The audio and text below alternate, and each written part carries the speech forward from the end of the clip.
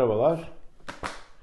Ee, merhabalar tekrar. Ee, biz İstanbul Bariatrics olarak e, kliniğimizi ikinci kez e, tekrar açmış bulunuyoruz e, obezite ameliyatlarına ve endoskopi hizmetlerine.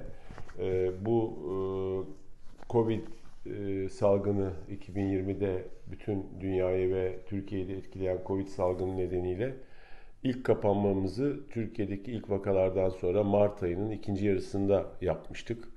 Ve iki buçuk ay kliniğimizi tamamen kapatmıştık.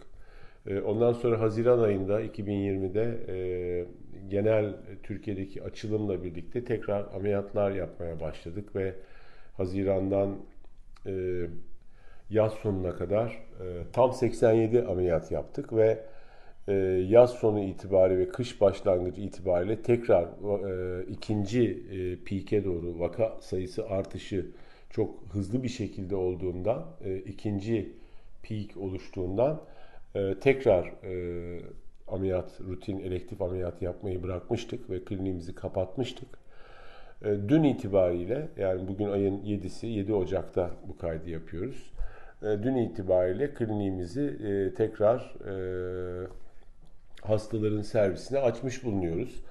E, hala Covid salgını tam geçmiş değil. E, fakat çok iyi bir haber var. Önceki e, bu konudaki yayınlarımızın aksine. Şimdi bir müjde var. Artık aşılar var. Her ne kadar e, aşıların e, kitlesel uygulanması henüz başlanmadıysa da e, muhtemelen e, 6 ay sonra belki 1 yıl sonra e, daha iyi bir e, e, daha iyi günlere bakıyoruz. E, bilemiyoruz Covid sayıları e, nasıl gider. Şu anda ülkemizde bir iniş söz konusu. E, günlük e, semptomatik e, vaka sayısı 6 bin, 7 bin hatta 8 binlerden binlere kadar düşmüş durumda. Bizim endoskopilerimizi yaptığımız, ameliyatlarımızı yaptığımız hastane neredeyse bir sürü Covid hastası içermekteyken son bir aydır o sayılar çok düştü.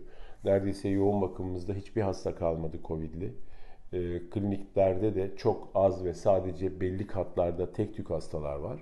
Ve muhtemelen 5-10 gün sonra hastanemiz tamamen e, Covid'den arınacak diye ümit ediyoruz.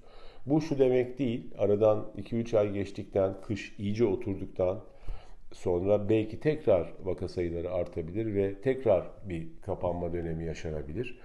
E, ama e, aşının da devreye girmesiyle birlikte e, önümüzdeki yıl ve on, ya da ondan sonra belki bir yıl sonra e, Covid inşallah umuyorum ki hayatımızdan çıkacak. E, tüm hastalarımızı tekrar e, vazifemizin başında olduğunu bildirerek buraya beklediğimizi e, ilan etmek için bu kısa kaydı yaptık. Çok teşekkürler.